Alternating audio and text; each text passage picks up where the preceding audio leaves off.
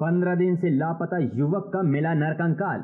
बटियागढ़ थाना क्षेत्र के छोटी चढ़ाई के पास गेवलारी के नाले में एक नरकंकाल मिला।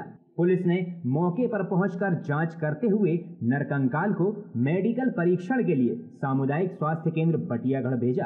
परिजनों की जानकारी के अनुसार युवक की पहचान हीरालाल पिता आशाराम अहिरवार उम्र 35 वर्ष निवासी आंजनी के रूप में की गई जिसकी गुमशुदगी की रिपोर्ट दर्ज कराई गई थी।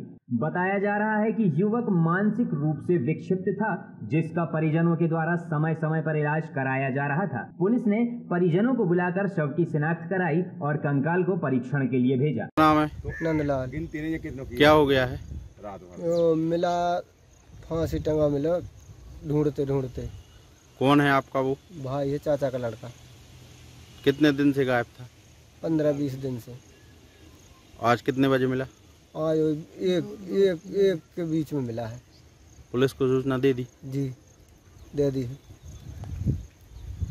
क्या नाम है मरने वाले का? हीरा हरवाल कितनी उम्र होगी? पैंतीस छत्तीस साल। कहाँ की घटना है? गेलारी नरवा का हाथ है। और निवासी कहाँ का है? आंजनी का।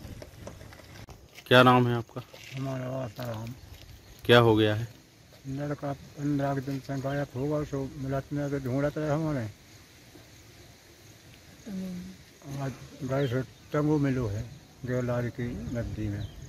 मरने वाला कौन है आपका? लड़का। क्या नाम है उसका? हीरा लाल आपका क्या नाम है? हमारा वासा राम। किस गाँव का रहने वाला है? आंजनी। कितने बजे मिला आज? आज करीब एक बजे मिला। पुलिस को सूचना दे दी? हाँ पुलिस को सूचना दे दी। मरने वाले की उम्र कितनी होगी? पैंतीस छत्तीस साल की है। ये दिनांक पंद्रह सात इक्कीस को एक हीरा पिता आशा अहवार निवासी आजमी के गुमने की रिपोर्ट दर्ज हुई थी थाना में। इनके पिता आशा अहवार ने रिपोर्ट लिखाई थी है तो उस जाँच के दौरान आज इनका शव मिला है। ये सूचना हीरा मृतक हीरा के परिजनों ने दी थी। कि एक छोटी चराई के पास गेवलावी नाले के पास एक रस्सी से एक शव लटका हुआ है। तो आज ये लाश मिली है और इसका पंचनामा करके हमने इसका शव पोस्टमार्टम लिए भिजवाया है। और संभावना है कि चूँकि ये मानसिक रूप से विक्षिप्त था तो इसने स्वयं फांसी लगा के आत्महत्या की है। सर परिजनों ने शनाख्त कर ली परिजनों ने हाँ परिजनों ने उसके कपड़ों को देख के उसकी शनाख्त की है।